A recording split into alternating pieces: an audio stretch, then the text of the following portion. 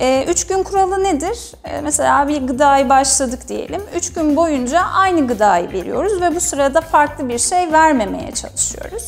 Ki alerji olursa neden kaynaklandığını görebilelim diye.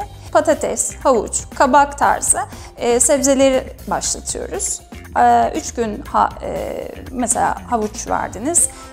3 gün sonrasında işte patates ekliyorsunuz bu karışıma.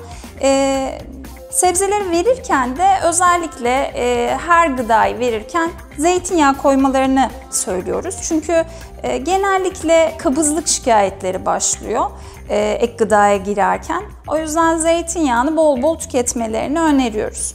Hiçbir zaman e, ek gıdaya e, başlar başlamaz işte ek gıda verelim, kilo aldıralım gibi düşünülmemesi gerekiyor. Neden? Çünkü e, ana öğünler yine anne sütü olacak ya da işte formül sütle besleniyorsa formül süt olacak.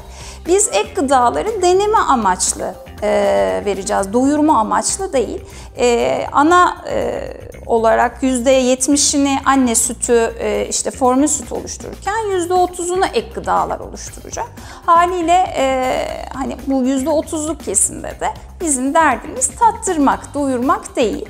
E, ilk işte 6. 9. ay arasında verebileceğiniz maksimum gün içerisindeki ek gıda miktarı 2 çay bardağı.